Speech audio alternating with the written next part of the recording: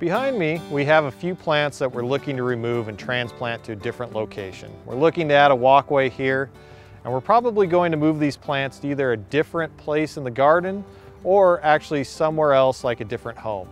Now there's a few things to consider when transplanting and moving around different types of plants. We need to think about potential disease and insect issues. We need to think about these issues within the soil itself, on the plant, and how these plants might actually be a host for certain disease or insects that affect other plants within our landscape or garden at the new area. So a good example of this would be we have a currant to my right.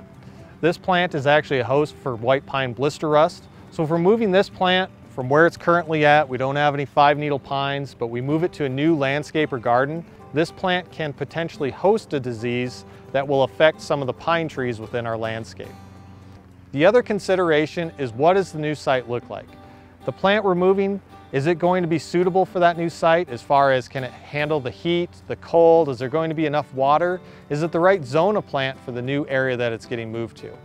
You might want to think about the timing of when they should be transplanted. Usually we want to transplant during the dormant season for the plants that we're moving. If you have questions regarding what plants should be moved or not moved, insect or disease issues for certain plants when you are attempting to transplant something or actually receive a plant, you can contact your local extension office for more information. From the University of Wyoming Extension, I'm Brian Sebade, and you're watching From the Ground Up.